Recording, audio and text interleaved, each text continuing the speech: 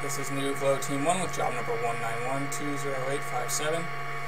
Here we are looking at the end of our Nu Flow liner.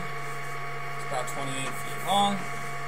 Start pulling back. That orange pipe in there was our carbide chains that we used to clean out a little excess epoxy that was in the line just at the end.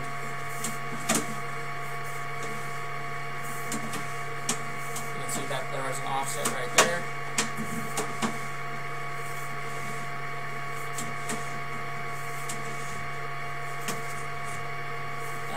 cast iron.